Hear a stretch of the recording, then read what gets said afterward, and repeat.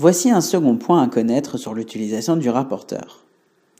Comme tu peux le voir, à la fin de cette vidéo, tu seras capable de construire un angle à l'aide du rapporteur. Pour faire simple, voici des exemples en images. Voici quelques explications pour apprendre à construire un angle.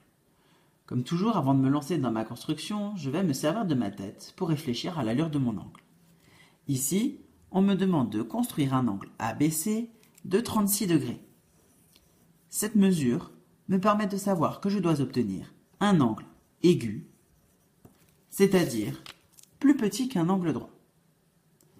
Je démarre donc ma construction en traçant un premier côté de l'angle.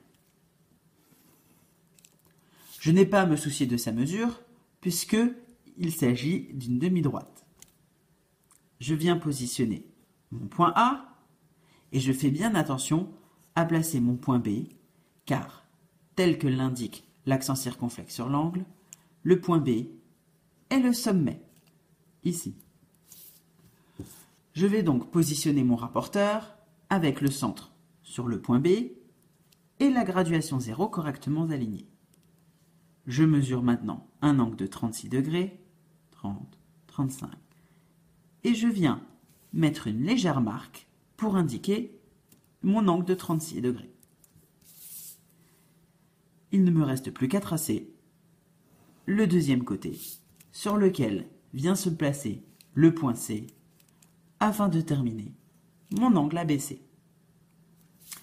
Très rapidement, je peux voir que l'angle obtenu est bien plus petit qu'un angle droit.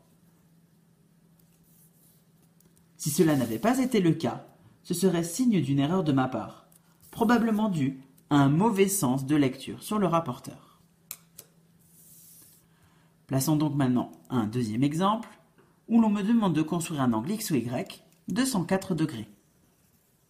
À nouveau, je comprends cette fois-ci que je dois obtenir un angle obtus, c'est-à-dire plus grand qu'un angle droit. Je démarre en traçant un premier côté.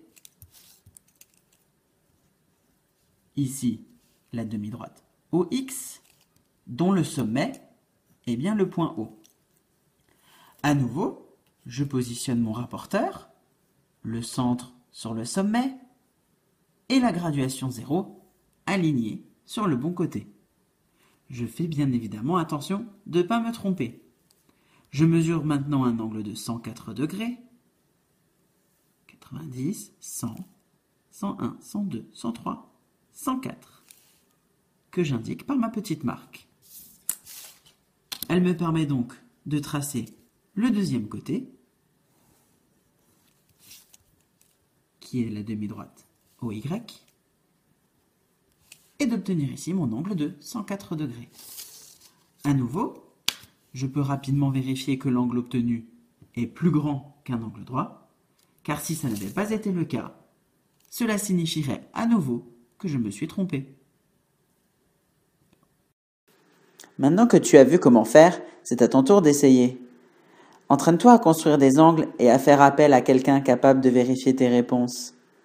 Tu seras alors prêt pour le travail qui t'attend en classe, mais n'hésite pas à revoir cette vidéo autant de fois que tu en auras besoin.